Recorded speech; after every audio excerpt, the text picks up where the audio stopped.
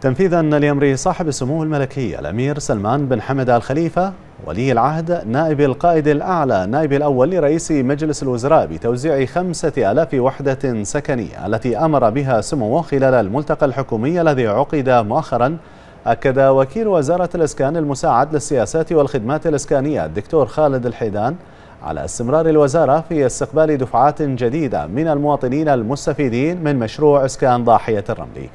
وأضاف الحيدان أن إجراءات توزيع وحدات مشروع ضاحية الرمل للمواطنين المنتفعين تمت بصورة سلسة وسط استحسان المواطنين من دون أدنى معوقات أو تأخير. وقال إن مشروع إسكان ضاحية الرمل يعد أحد المشاريع الرئيسية المدرجة ضمن برنامج عمل الحكومة التي التزمت به وزارة الإسكان ببناء 25 ألف وحدة سكنية من عام 2015 إلى عام 2018 وفقا للالتزام الخاص بقطاع السكن الاجتماعي الوارد في برنامج عمل الحكومة المنبثق عن التوجيه الملكي السامي ببناء 40 ألف وحدة سكنية. مؤكدا مضي الوزارة في إنهاء هذا الالتزام وفق المواعيد المحددة من خلال طرح المزيد من البرامج والخدمات التي تكفل استقرار المواطن البحريني.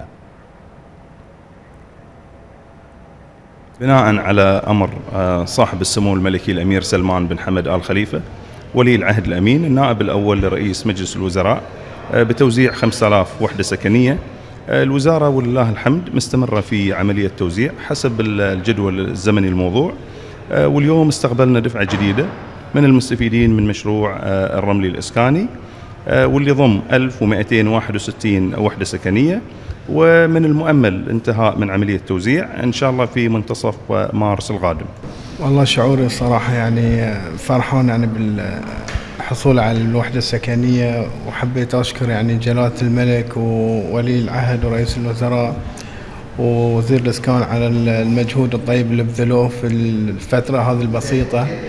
الحمد لله قدروا ينجزون يعني مشاريع يعني ما شاء الله ب يعني فترة وجيزة يعني.